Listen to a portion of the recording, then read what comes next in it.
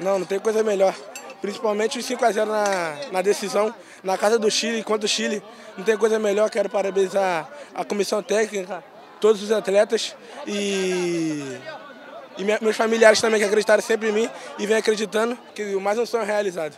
É, união, comprometimento um com o outro, não tem, não tem vaidade que é, se tiver um melhor, no melhor posicionamento, posicionamento para fazer o gol, vai fazer. Hoje foi três da Alain, Alan não, vem, não vinha fazendo gol, fez três.